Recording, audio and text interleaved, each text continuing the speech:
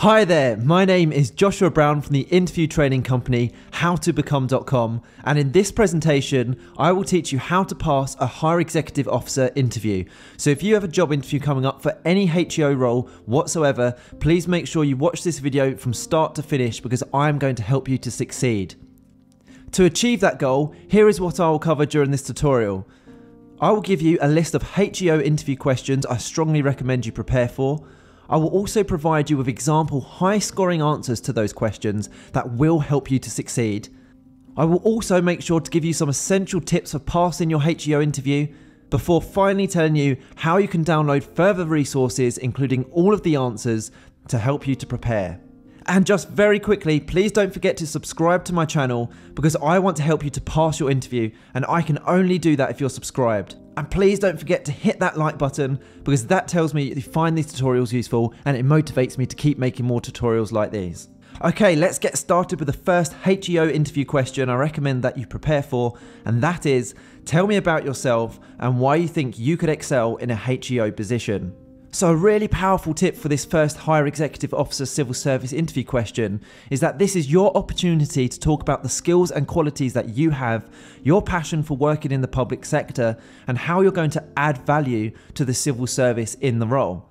Remember, you must demonstrate the civil service behaviours to that higher executive officer grade throughout your answers during the interview, not just this question, but all of the questions. So, let's take a look at a great example answer to help you. Tell me about yourself and why you think you could excel in a higher executive officer position. Here we go. Thank you for inviting me to be interviewed for this higher executive officer position today. Throughout my career, I have developed a variety of transferable skills and leadership qualities that I believe will enable me to excel within the civil service as a HEO.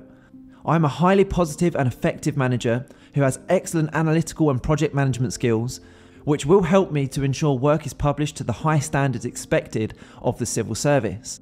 For example, in my previous role, I was praised by my senior manager for analysing the department's budget spending and for proposing new ways to save on the budget. I had to communicate this data to external stakeholders and encourage others to embrace change within the organisation, which, in turn, had a successful impact on the department. I understand as a HEO, I'll be responsible for leading a team to create and implement new policies. I will need to communicate with clarity, to see the bigger picture, and to approach tasks and projects with enthusiasm and a commitment to public service. Outside of work, I'm driven by my family who are fully supportive of my career, and I enjoy hobbies such as team based sports where I get to collaborate with others. If you employ me in this position, I will be a proactive and positive leader, not afraid to encourage and implement continuous improvement within workflows.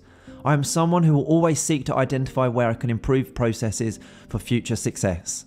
Now, that's a really powerful opening answer to that question. Tell me about yourself and why you think you could excel in a HEO position. You'll notice throughout that answer that I demonstrated that I fully understood many of what the core civil service behaviours were needed specifically for this role. And really importantly, I also demonstrated examples of where I had demonstrated those previously. So let's take a look at the next civil service HEO interview question, which is describe a time where you have failed. Now, it's really important how you answer this civil service behavioural interview question because if you say you haven't failed before, then the hiring manager may take the view that you may not have the experience needed. We all make mistakes, therefore, you need to show that you've handled failure positively in the past and that you have learnt from it. Higher executive officer roles require leadership and team management. Therefore, a good example is to use a team based or management failure that you have made, which has made you in turn a better leader. So, here's a great example answer to help you. Describe a time where you failed. In a previous role, I was part of a team that had been given a strict brief by a client. The project needed to be completed on a much tighter deadline than we were normally accustomed to. This meant that we didn't follow our normal procedure, which included our project manager finding ways to save time, and he decided to not have an early project follow up call with the client to discuss the progress of the project. Not having this call turned out to be a fatal mistake as our project manager had misunderstood the brief which was handed down to us. This would have been spotted if we'd had that call. The client was clearly unhappy and abandoned the project. I was very embarrassed to be part of a team that had failed.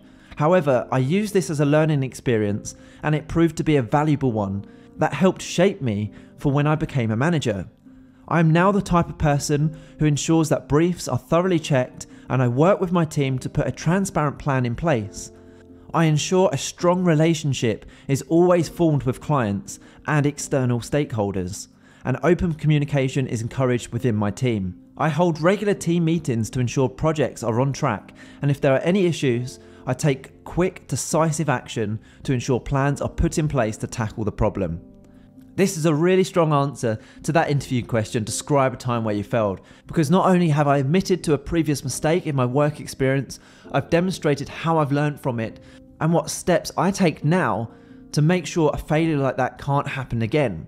I also demonstrated teamwork and collaboration and how I manage and show leadership skills, which is really important for any HEO role. The next interview question is What skills and qualities are needed to carry out a higher executive officer position? This question is your opportunity to show that you have a strong understanding of the civil service behaviours at a HEO grade. Developing yourself and others, managing a quality service, communicating and influencing, delivering at pace, etc. These should all be demonstrated with examples or at least an understanding of their importance within your answer. So here's a great answer to help you. What skills and qualities are needed to carry out a higher executive officer position? Here we go. There are many skills and qualities needed to excel in a higher executive officer role. One of the most important ones is effective leadership skills, to be able to lead the department in the development and implementation of new policies and complete its objectives. I understand that it's pivotal to support and make positive change within the organisation. I am someone who can maximise the potential in others and the resources at my disposal which I believe is important for a HEO, as this role requires someone that must be supportive throughout challenging times and who seeks to empower people to deliver important projects using an innovative and forward thinking approach to problem solving. As a HEO, you're expected to be a positive role model to all, and integrity is also very important. And you must always set high standards for everyone to follow. Other skills and qualities include being able to communicate and collaborate effectively with other internal departments and external stakeholders who may have a vested interest in the civil service. Finally, being able to multitask and manage multiple challenging projects and budgets concurrently is a vital skill of a competent civil service higher executive officer. Now, that's a really powerful answer to that interview question. Now, don't go anywhere as I still have more interview questions and answers to give you. But when you are ready, click that link in the top right hand corner. It will take you to my website, how2become.com, where you can download my 24 Higher Executive Officer Civil Service interview questions and answers to give you the edge in your interview, including the ones that we're covering right now. Okay, here's the next question for you Why do you want to work for the civil service? When answering this interview question, be sure to demonstrate a passion for serving the public and explain how you always strive to collaborate, lead, and implement effective policies to achieve the civil service's objectives. Let's take a look at a great answer to help you. Why do you want to work for the civil service? I want to work for the civil service for several reasons. Firstly, I find it particularly attractive that you encourage all employees to be the best versions of themselves in a supportive environment. I am a strong believer that for organisations to remain successful, grow, and further develop, they need to embrace change, which the civil service has always done. It appeals to me that I'll be leading a team that will contribute to one of the organisation's main objectives, positively helping the lives of others by delivering excellent service to the public. And I will get to see firsthand the positive impact from the projects and policies that I help to implement, and I fully understand their importance. I enjoy the friendly working environment across departments and collaborating with others to achieve a common goal. Whether that be developing and leading my team, reporting to senior management, or building strong relationships with key stakeholders, both internally and externally.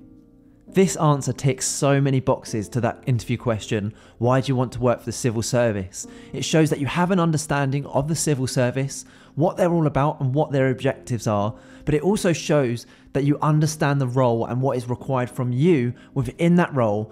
And it also puts you across in a positive light and someone who wants to carry out that role. Let's take a look at the next interview question, which is when have you used effective communication skills to get a difficult message across to a group of people? That's a really tricky interview question. And my tip here is to answer this behavioural interview question, you need to assess the civil services communicating and influencing behaviour to that HEO grade. You must demonstrate that you have an awareness of different communication approaches and that you're able to influence a team or department. A great example to use is one that also demonstrates that you see the bigger picture, which again is another civil service behavioural competency. So let's take a look at a great answer to this interview question. When have you used effective communication skills to get a difficult message across to a group of people? At a previous role, it was my responsibility to let the team know that there were going to be some challenging times ahead for the department, and that each member of staff would need to take on new roles and responsibilities. I knew before delivering this information that this was going to be difficult as the news wouldn't be well received with some of the staff members. These changes were very much needed to help the organisation through a challenging period, and I knew I needed to win over the whole team. Before sitting down with the team, I considered my approach carefully I am a believer in transparency and that everyone in the team has an equal part to play in the organisation's success. I therefore openly explained the reasons for these changes, the benefits that they would have, and how it was important for each member to embrace change positively. I also explained how everyone would have my support and the support of management to adjust to these changes. Although it was a difficult message, I was proud in the way that I delivered the message with clarity, purpose, and confidence. I believe in doing so, not only did staff embrace the change, I was also able to gain further respect from my team. Now, this answer really shows a strong leadership approach, which the hiring manager is looking for in your answer. So, the next thing to do is to please make sure that you click the button in the top right hand corner of this video right now head through to my website, how2become.com, where you can download these slides and get access to 24 Higher Executive Officer interview questions and high scoring answers to each question in a PDF guide. You can literally have access to all of these civil service HEO behavioural interview questions and answers and the slides in your inbox within two minutes from now. And it's guaranteed to help you prepare effectively for your interview and more importantly, put you ahead of the competition. I hope you've enjoyed this tutorial. Please don't forget to hit that subscribe button as I'm on a mission to help as many people as possible to pass their job interviews and I can only do that if you're subscribed.